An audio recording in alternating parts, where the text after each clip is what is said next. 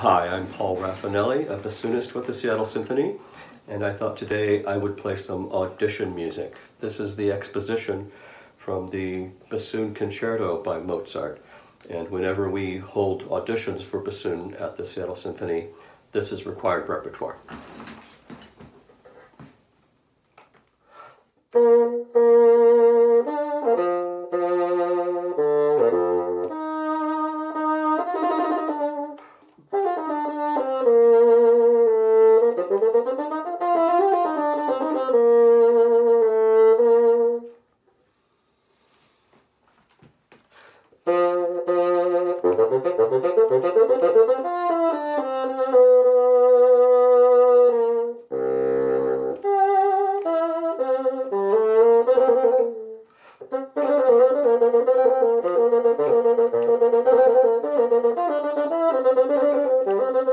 Thank